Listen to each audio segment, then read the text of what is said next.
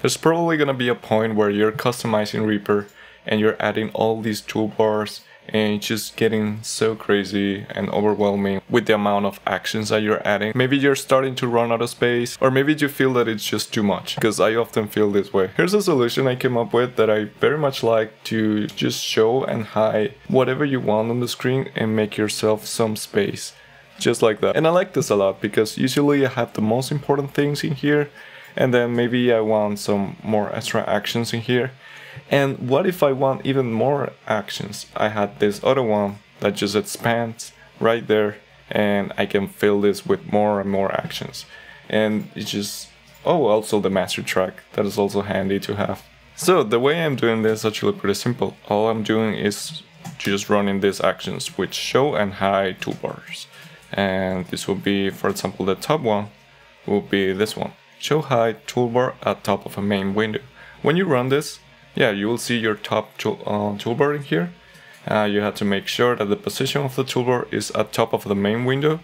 That's how you're gonna be able to run this action and hide it. And that's the action that I have mapped on this toolbar.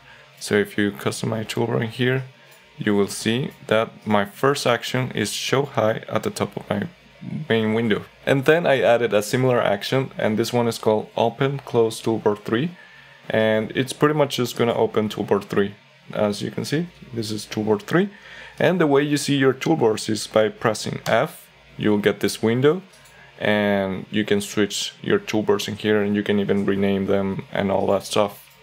So this, uh, this is an action that pretty much shows me the toolbar 3 and I have it saved. So it's right underneath the the toolbar, uh, the main toolbar. Um, the way I did that is basically I grab this tab right here um, and I just drag it up like that. And then just close this like that. And now I'm able to open and close it like this. And now for the master track I'm running this action called toggle master track in docked window. Um, pretty much this is gonna open um, the master track. Right now it's opening right here. So that's a good way I can show you how to drag it up there. So it's just the same thing as the 2 or 3 you will drag this little tab to the right side or wherever you want the master track. I like to have it right here.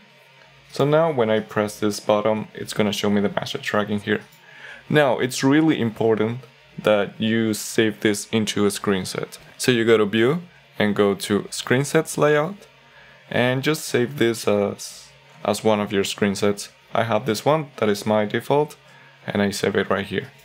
Um, yeah, just save it when you're happy with the way it works and then just use that load key to recall your and that's it. Feel free to get creative with this. You have all these toolbars that you can fill with actions of whatever grouping you might need and you can open and close them at any position on the screen. That's it. Bye!